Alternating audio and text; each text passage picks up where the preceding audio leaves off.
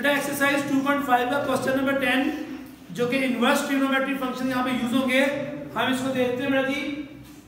हमें डिफरेंशिएट करने से विद रिस्पेक्ट टू x, जबकि हमारे पास है क्या? y cos inverse x a देखो बेटा जी, हमारे पास ये होगा dy dx, जब इसको हमने डिफरेंशिएट किया तो। और cos इनवर्स x a का हमने डेरिवेटिव लेना। है हमने फार्मूला पढ़ा था बेटा जी। क्या है फार्मूला इसका जी? cos inverse x over a का minus one over one minus x square x means angle का square into derivative of angle ठीक है बच्चों?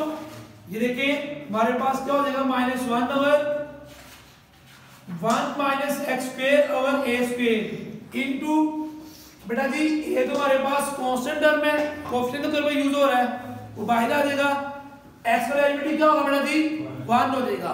तो वन ओवर ए आ जाएगा हमारे पास इसका डेरिवेटिव वन ओवर ए इसको सिंप्लीफाई करें तो माइनस वन ओवर एलसीएम ले लिया a square into a square ऊपर बेटा जी a square minus x square into one over a अब बेटा जी, ये ए के ऊपर स्क्वायर है। और ऊपर स्क्वायर रूट भी है। स्क्वायर स्क्वायर रूट से कैंसिल हो जाएगा।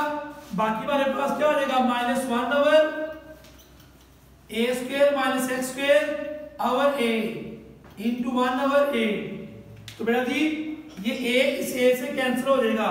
बाकी हमारे पास dy by dx क्या होगा? बेटा जी dy by dx हमारे पास हो जाएगा